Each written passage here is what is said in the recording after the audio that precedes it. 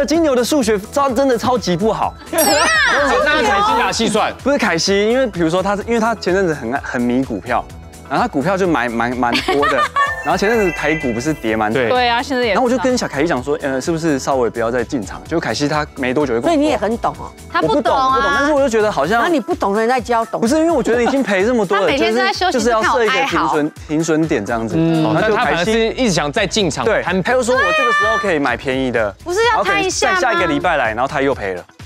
哇，啊，双子不是这样，因为我们会很去，比如说，你们喜欢谈恋爱？比如说好了，我们认我们今天单身，然后认识一个女生，然后我们会观察她一个月，然后这个我们就是观察完之后，因为我们双子可能比较，可能比较，我觉得比较机敏一点，就会比较观察人，对，你们对对对，当朋友要怎么观察？我就会觉得这个人，比如说我暧昧好了，然后我会观察他，他适不适合跟我继续走下去。哦，对，我们的个性有没有雷同？但是我觉得这一个月如果觉得哎我们哪里不合的话，我可能就会觉得哦，我不要跟你联络了，因为我可能就是你觉得跟他聊不我们只能当朋来，友，不能再当恋人这样子。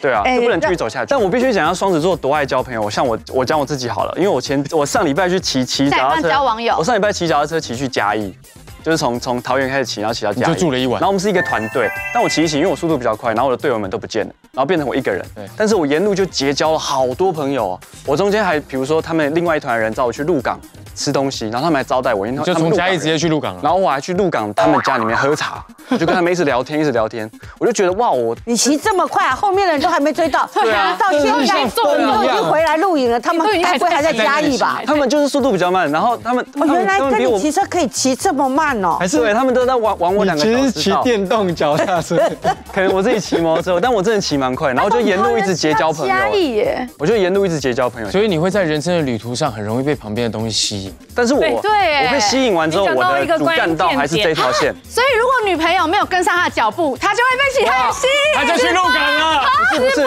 不能这样说所以。我刚刚讲的是吧？不是这个意思我说我们的想法，我们会比如说旁边哎有个有趣的事物，我们会去了解一下被吸引过，去但是我们的我们的感情就会那你不能 focus 在我们忘记啦的另一半身上。我帮你解释，是事物你会分心，人不会。对，人绝对不会，哦我们会对那个事物有兴趣，但是但是我们不会对那个人，对了，跟他是就是这样，不怕跟你在一起不怕对，不会无聊。啊，因为毕竟黑的他可以说成白的，对不对？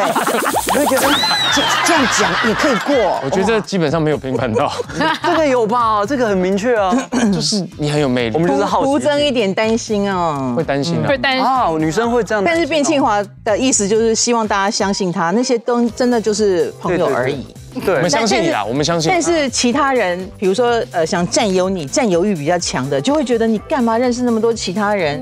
你把力气留给我啊，对对对对不对？对关心我多一点啊，他们会对控制你。对，这样有平反成功吧？有有有，有好啦，好。